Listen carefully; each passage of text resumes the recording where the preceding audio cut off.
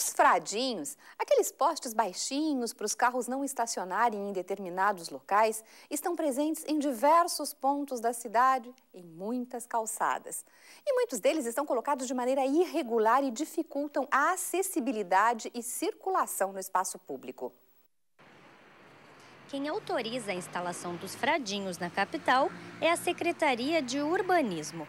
A fiscalização é feita pela Secretaria de Obras na medida que há necessidade, o proprietário, o morador, ele quer colocar um fradinho, necessita, ele deve solicitar diretamente no protocolo da SMURB, aqui na Avenida Borges de Medeiros, 2244. O problema é que em muitos locais esses obstáculos estão sendo instalados de forma indiscriminada. A síndica de um condomínio na Vicente da Fontoura conta que instalou os fradinhos no local pensando na segurança dos pedestres. Olha, tá vendo? Até uma bicicleta tá passando aí. É carros que entram naquela parte da garagem, caminham por aqui e as pessoas que estão caminhando com seus bichinhos, seus cachorrinhos, quase são pegos por causa disso. Tá? E, e, os carros que saem dali da, dessa casa de uniformes também vêm por aqui e assim é, vem por lá e vem por aqui. As pessoas não podem transitar. Por outro lado, muitos moradores reclamam que os fradinhos impedem a circulação. Seu Antônio mora no bairro há 28 anos. Já registrou reclamação junto à prefeitura por ter dificuldade de transitar no espaço tanto pessoas deficientes visual, como cadeirantes, pessoas de idade. É uma coisa séria isso aí. As pessoas acham que pode botando assim nas calçadas, a prefeitura não fiscaliza, liga para eles, não estão nem aí, né? Esta outra moradora também reclama dos obstáculos. Sei de gente que já caiu, que já né, tropeçou num, que tá passando distraído, está pensando na vida e né, ali acaba um obstáculo atrapalhando, né? Aqui na Avenida Vicente da Fontoura, nós encontramos diversos desses obstáculos. Eles estão em frente a prédios comerciais e residenciais. Para quem tem deficiência visual, como é o meu caso, a bengala pode não identificar a barreira e a pessoa acabar se machucando. A gente recomenda que as pessoas respeitem a necessidade de uma locomoção com segurança para quem precisa fazer uso do passeio público.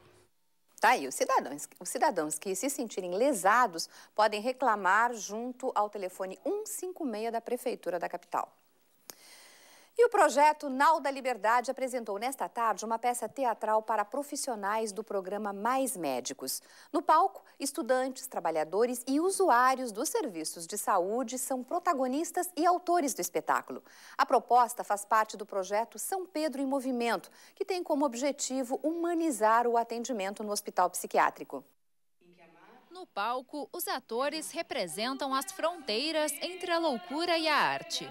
Na plateia, 92 profissionais do programa Mais Médicos que prestam atendimento em atenção básica têm a oportunidade de conhecer melhor o tratamento em saúde mental realizado no Estado.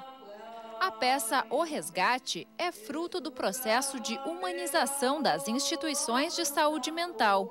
O Rio Grande do Sul foi um dos pioneiros na implementação da Lei da Reforma Psiquiátrica, que tem como principal diretriz a integração dos usuários com a sociedade resgatar a vida do sujeito que teve a sua subjetividade expropriada, tirada por dentro dos, das instituições fechadas, que a gente chama de instituições totais, numa cada vez maior relação com a sociedade.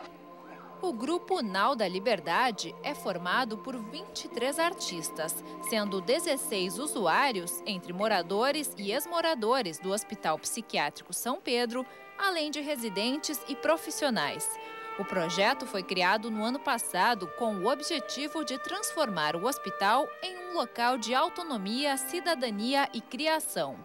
É, a ideia é poder resgatar, né? Foi criada a partir assim da ideia de um grande sofrimento, onde o resgate é poder produzir outros sentidos na vida das pessoas. O grande projeto de desinstitucionalizar é criar outras possibilidades de vidas. Então, digamos nesse paradigma, né, centrado no hospital, o paradigma transformador é de inserção na cidade, desde a moradia mais próximo de uma vida cotidiana que todos nós cidadãos te temos direitos de ter, até uh, com seu tratamento assegurado e com a inserção em outros modos de expressão da vida, entre eles o teatro.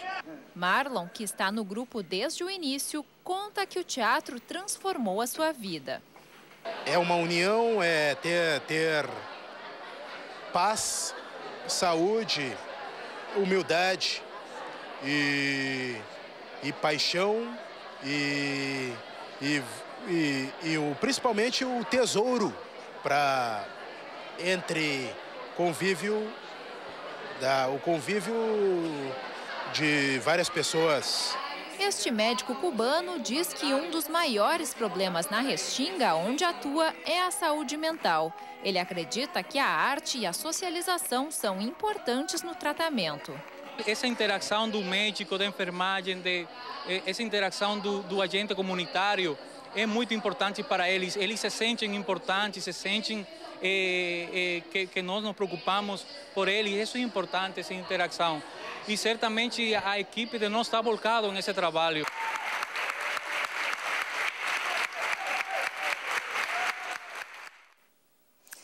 Universidade Federal do Rio Grande do Sul abre amanhã as inscrições para o ingresso extravestibular. Para concorrer, é preciso estar matriculado ou ter matrícula trancada em instituição de ensino superior com aprovação nas disciplinas nos dois primeiros semestres. Estão disponíveis duas modalidades de seleção: transferência interna e transferência voluntária para estudantes de outras instituições. São 608 vagas e as aulas iniciam no primeiro semestre de 2015. Sonhos distribuídos em uma parada de ônibus. A frase de efeito faz parte do projeto cultural Ando Sonhando, que tem patrocínio do Ministério da Cultura. A timidez do primeiro contato logo deu lugar à curiosidade de quem nunca tinha visto um monóculo.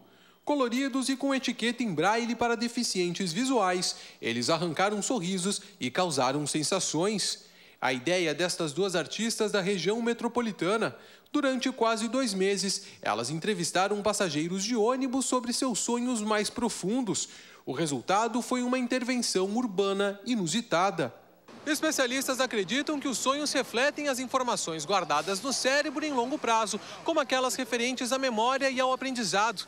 Mas aqui no Terminal Parobé, no centro de Porto Alegre, os sonhos nada mais são do que imagens contidas em monóculos como este. Cada um desses pequenos dispositivos contém a tradução do sonho de algum usuário do transporte coletivo de Porto Alegre. Alguns transformados em imagens, outros em frases positivas. Agora eles voltam para os terminais de onde saíram para preencher o imaginário de mais pessoas. Como a gente ia trabalhar com sonho, a gente pensou o quê? Onde, uh, em que local as pessoas não estão uh, uh, pressupostamente satisfeitas, felizes e alegres. O ônibus é lotado, demora, ou o ambiente está incômodo, etc. E o que, que acontece quando ela, a gente uh, uh, assim, busca que ela fale de um sonho? Ela vai uh, necessariamente se remeter a uma outra, a uma outra situação emocional. A gente conseguiu fazer com que abrisse uma brecha dentro desse cotidiano tão apressado, tão enlouquecido, que é os terminais de ônibus, onde as pessoas estão em busca de algo ou estão, estão esperando algo, e nós chegar e levar, esse, essa, levar essa informação para elas, levar esse, esse pequeno, essa pequena abertura, né? Na distribuição dos sonhos, a fila para o ônibus ganhava ar de brincadeira. A cesta de Vime estava carregada com um desejo de mil passageiros. Eram tantos que valia até escolher. Esse sonho me agradou. Depois de trocar por três vezes, esse aqui é um senhor no ônibus distribuindo uns panfletos. Eu achei bem interessante. E como o sonho que se sonha junto é realidade, o coletivo falou mais alto. Quem ganhou foi a saúde do povo. que é um sonho de todos os brasileiros, né? Uma saúde melhor, né? Sonho para o país, ó, é o sonho para o país. E depois do intervalo, você vai ver que os argentinos foram a maioria dos torcedores que acompanharam a vitória da seleção do país vizinho. O sonho deles foi realizado, olha só, por pênaltis na semifinal da Copa do Mundo pelo telão do Anfiteatro Porto Sol aqui em Porto Alegre. Nós já voltamos.